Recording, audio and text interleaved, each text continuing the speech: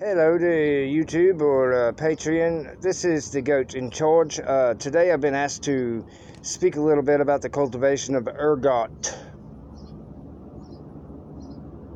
Okay, first of all, making LSD is highly illegal. It's um, prison time, uh, and you could kill people, and you probably shouldn't do it. And I don't recommend it, and I don't think you should do it, and I'm not promoting it.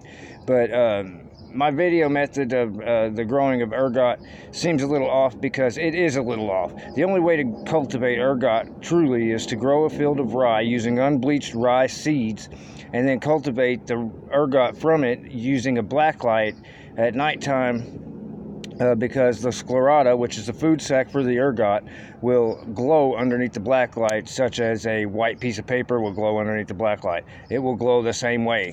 Um, my method seems a little off because I'm telling you how to quickly grow some ergot in off of a flower.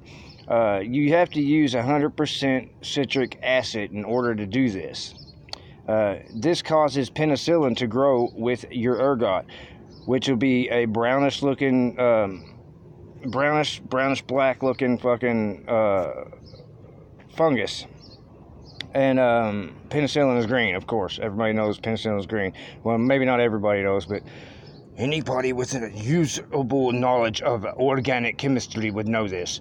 And if you don't have a usable organic chemistry background with some kind of chemists or chemistry student through teaching, and uh, you're just an average Joe, uh, an average Sally, or whoever you are, uh, you probably shouldn't be fucking with this shit.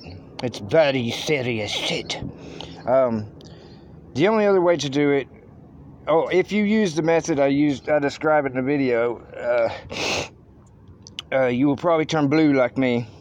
Um, so I would not suggest it because being blue is like really hard because you're like blue, I'm buddy, bob and die, I'm buddy, whatever. I don't know. Fucking, I'm just trying to be funny.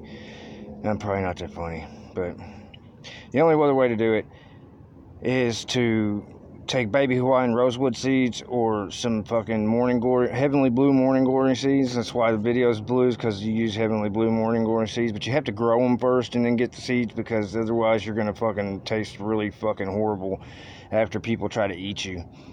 Uh, because it turns you into zombie babies and, and you turn blue and everybody knows and then they just start it's fucking horrible.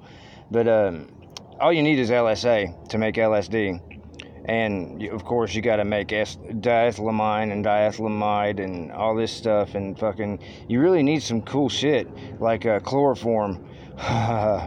Yeah uh, that is not just made to uh, knock people out and do bad things to them or good things to them or whatever you do with chloroform besides make legos and and purify things. But um if you don't know how to make chloroform i suggest do some research or go get it from the fucking store because you're a chemist. Because you shouldn't be doing any of this shit unless you're a chemist, or at least have some kind of working knowledge of chemistry. Anyways, um.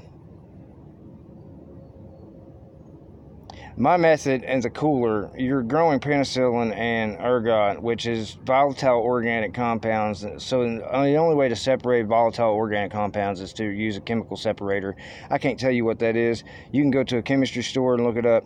Um, go to the organic chemistry section and look for a chemical compound that will um, separate a volatile organic compound. That's the most information I can legally give you. Um, don't do this at home. Don't do this in a lab. Don't do this at all. It's illegal. Only one person in the United States has permission to make LSD. He makes about a thousand hits a year. Everybody else goes to prison for a very long time. So don't do it. Bye.